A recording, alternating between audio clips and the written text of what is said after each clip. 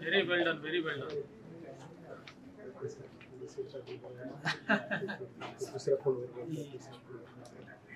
चांगली चांगली गोष्ट आहे. तुम्ही सगळ्यांनी छान काम केलं.